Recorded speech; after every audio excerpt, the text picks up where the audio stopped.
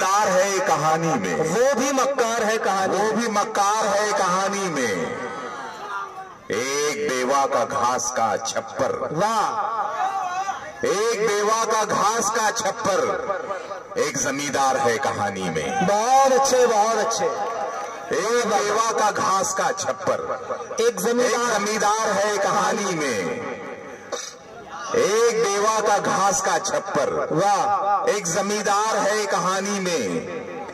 बूढ़े माँ बाप और बहू बेटा वाह वाह वाह। बूढ़े माँ बाप और बहू बेटा ऊँची दीवार है कहानी में। बहुत अच्छे बहुत अच्छे बहुत अच्छे सर। वाह वाह वाह। बूढ़े माँ बाप और बहू बेटा एक ऊँची दीवार है कहानी में।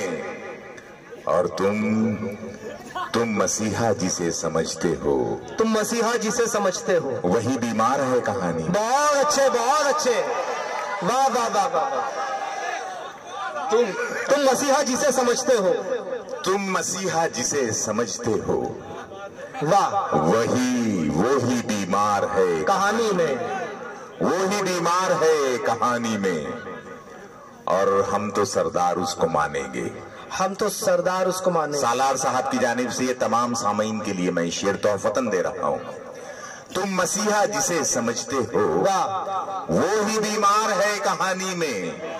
और हम तो सरदार उसको मानेंगे जो सरेदार है कहानी में। बहुत अच्छे बहुत अच्छे सर। वाह वाह वाह वाह। वाह वाह वाह। हम तो हम तो सरदार उसको मानेंगे। जो सरेदार है जो कहानी सरेदार है।